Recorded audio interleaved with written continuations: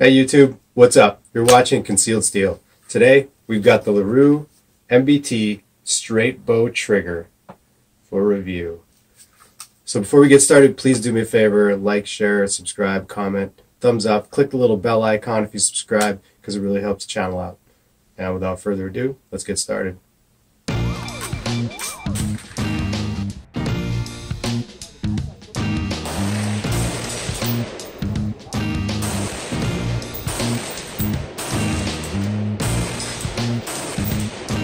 LaRue MBT 2S straight bow trigger. Today I'm going to talk about the reliability, the feel, the pull weight, uh, the construction, and the reset.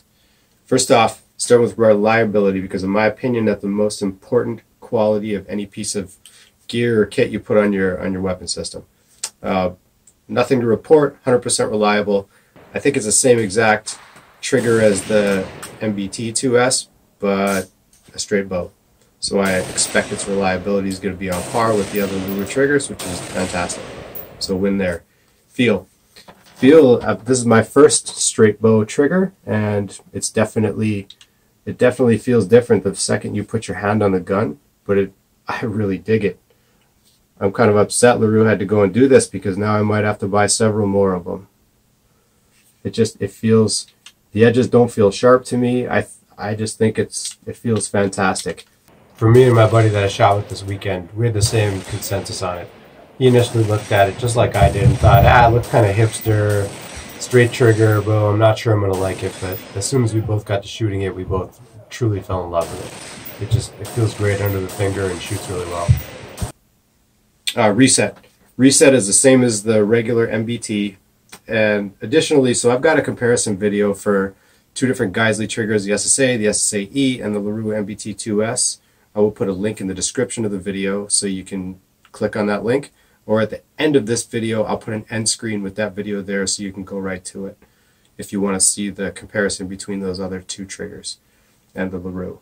So these are basically the same, but with a straight bow, this and the MBT2S. Uh, so the reset, the reset is on par with the MBT2S. Uh, as you can see, I'm rolling in some footage right now where I'm slowly letting the reset out. I've got a close up. Um, you can see it's it's on par with Geissele triggers. It's about the same distance. I didn't pull calipers out, but it feels it feels the same to me. I'm not I'm not big on splitting hairs between super small measurements and the distance of the reset. It's a combat trigger, so don't really care. It feels if it doesn't feel like a long reset. The reset's very positive. It's very tactile, and it, it lets you know that the trigger just reset. It forces your finger back forward on the reset, which I'm a big fan of. I got my Lyman digital trigger pull gauge out and did some did some pull weights on this trigger, and it turns out, so this it works the same kind of with any trigger. If you, depending on the height your finger is on the trigger bow, there's going to be a different level of resistance that causes this the trigger to break. For instance, uh, it's just like a lever basically. The farther you are away from the fulcrum on a lever, the more force you have to to push on the lever and to get the trigger to break. So farther down on the bow, less less weight to break the trigger.